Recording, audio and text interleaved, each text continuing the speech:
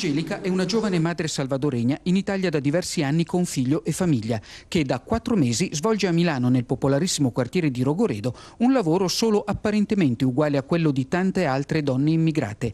Assiste ogni giorno tre persone, due anziane signore e Innocenzo, che vive con la sorella e l'anziana madre.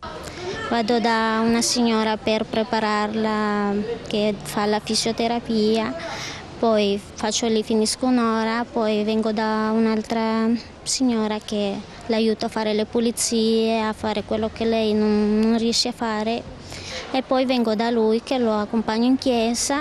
Sembra una storia come quella di mille altre badanti, ma quella di Angelica ha una particolarità. Non è assunta dalle persone che assiste, ma da un'intera comunità.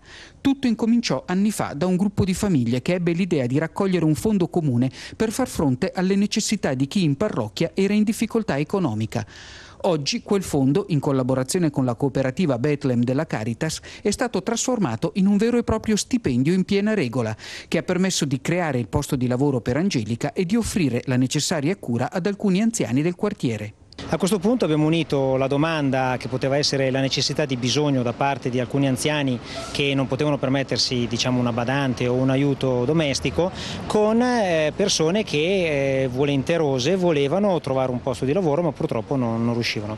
È di grande aiuto eh, per mio fratello e gli aiuta a affrontare meglio la giornata, la vita, ehm, lo stare insieme agli altri.